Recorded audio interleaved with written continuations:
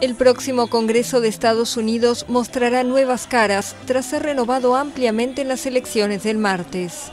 Una de las nuevas llegadas es la demócrata Alexandria Ocasio Cortés.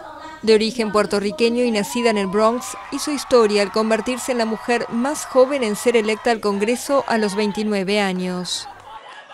Con un programa claramente de izquierda, Ocasio Cortés se presenta como socialista, promete defender a la clase obrera y se convirtió en la figura más visible de una nueva ola de mujeres y miembros de minorías que hacen frente al establishment demócrata.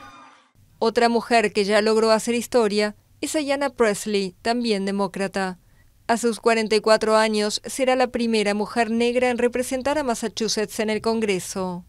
Originaria de Chicago, durante la campaña evocó sus experiencias con agresiones sexuales y tras ganar la elección primaria, dijo que el presidente Donald Trump era un racista y misógino.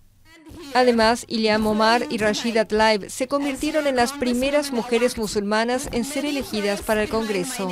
Omar, de 36 años, llegó de adolescente a Estados Unidos como refugiada somalí. Y Tlaib, de 42, nació en Detroit de padres palestinos.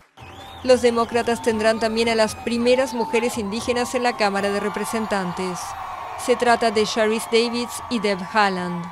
Davids, de 38 años, es una abogada lesbiana elegida en el estado tradicionalmente conservador de Kansas. Haaland, de 57 años y originaria de Nuevo México, es miembro de la tribu Pueblo Laguna. Conocida por su trabajo como activista comunitaria, se ha esforzado para promover el voto entre la población indígena. En las elecciones del martes, los demócratas recuperaron la Cámara de Representantes, mientras que los republicanos reforzaron su control del Senado. Los resultados cambian el equilibrio de poderes en Washington, donde Trump ha gozado del apoyo de las dos cámaras desde su llegada a la presidencia en 2016.